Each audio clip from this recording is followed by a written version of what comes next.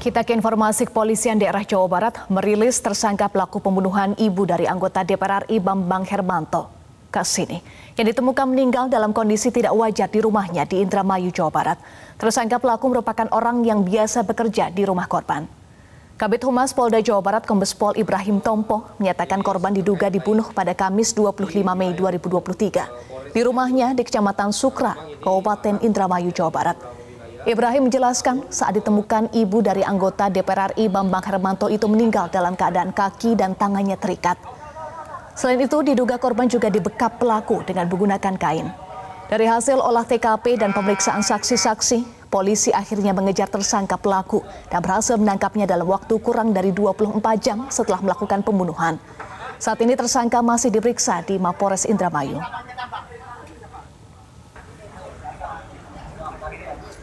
Saksi-saksi kemudian akhirnya ditemukanlah data terkait dengan uh, saudara T yang memang bekerja di uh, rumah tersebut sebagai uh, orang yang sering membantu membersih-bersihkan.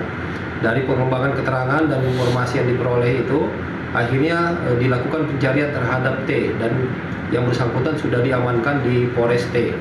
Untuk motif awal dari hasil keterangan yang bersangkutan menyampaikan bahwa uh, sakit hati, namun uh, pemeriksaan akan tetap berlanjut untuk melakukan pendalaman dan juga uh, motif yang sebenarnya.